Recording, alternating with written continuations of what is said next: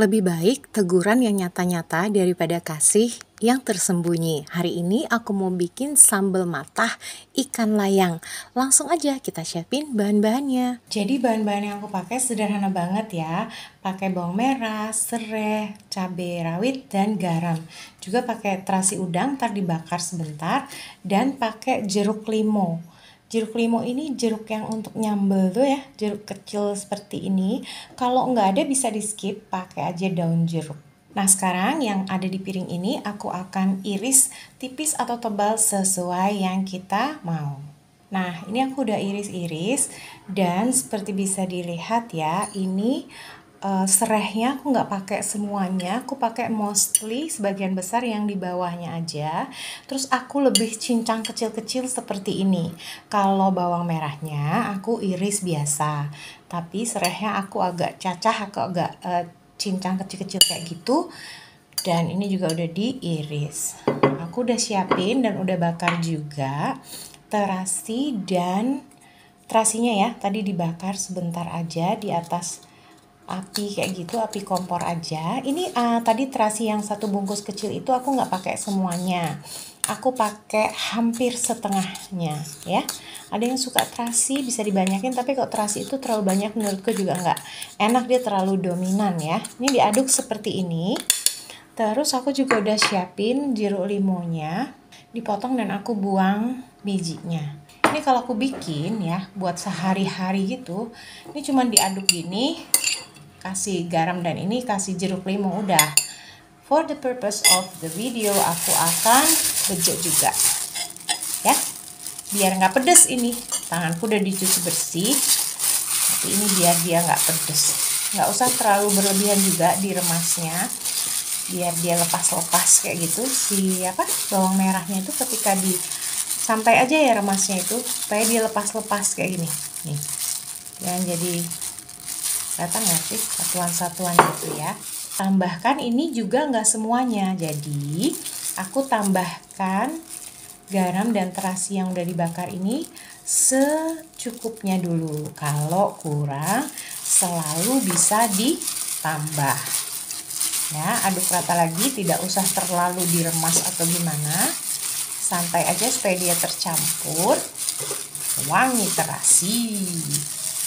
Nah ini harusnya kalau di Bali ya udah seperti ini tinggal dikasih perasan jeruk limau. Karena aku nggak kuat bau bawangnya terlalu keras jadi aku minyaknya aku panaskan. Di note ya teman-teman memasak itu bebas. Jadi kalian bisa pilih yang kalian suka. Benar-benar panas disiram begitu saja. Mantap. Tidak usah terlalu banyak Nah, di sini dia agak layu tuh si bawangnya nggak begitu kuat. Nah, aromanya itu loh, aromanya nggak begitu kuat. Nah, ini yang aku suka. Lanjut pakai jeruk limonya.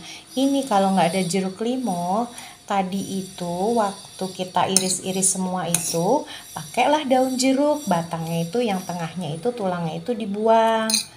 Nah, itu dia jadi aroma juga. Terus digunting tipis-tipis kayak gitu ya. Ini aku pas punya limo. Hmm, wangi limo tuh emang seger banget loh.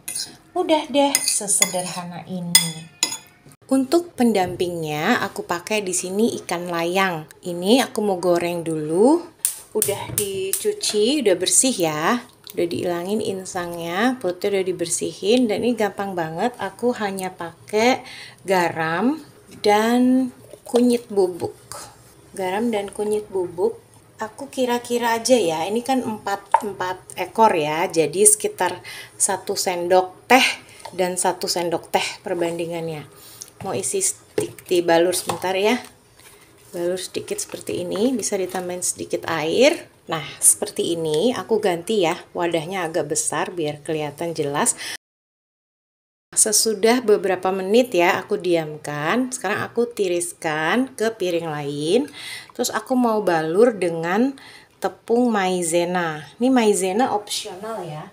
Jadi dia menurut aku lebih mantap ketika digoreng. Tapi ini tidak harus. Ini sebenarnya udah bisa digoreng begitu saja ya. Seperti ini aja tipis-tipis dikit aja asal kebalur balik sampingnya juga deh. Kedua sisinya. Ini aku panaskan minyak goreng secukupnya aja. Aku nggak banyak-banyak nggak berlebihan ya. Tunggu panas. Ini pakai maizena menurut aku dia agak uh, lebih kriuknya tuh lebih enak menurut aku ya. Tapi bebas sesuai selera. Tanpa maizena pun tadi cuman garam sama kunyit aja jadi. Nah ini aku pakai kayak ginian teman-teman.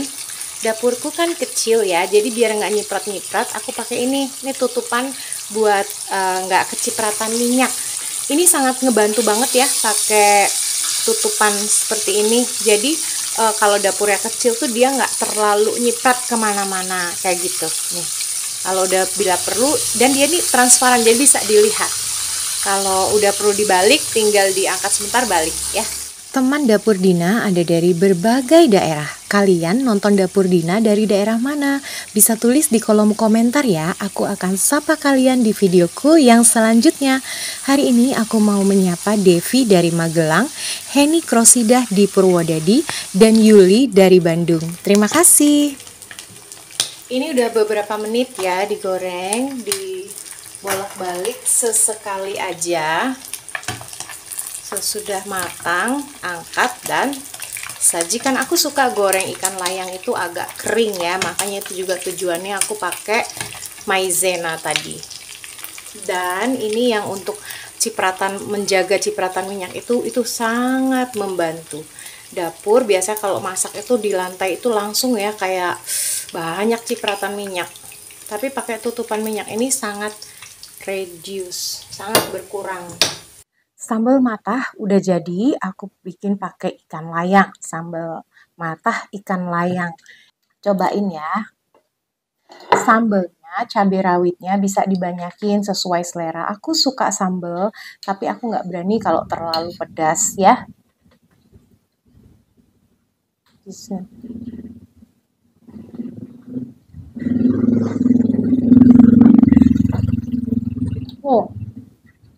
Hmm. Enak banget. Kalau nggak ada ikan layang pakai sambal mata sama kerupuk aja mantap sekali. Resep ini harus dicoba. Please teman-teman kalau udah nyobain resep ini hashtag dapur teman Dina di Instagram atau tag aja langsung dapur Dina. Makasih. Terima kasih ya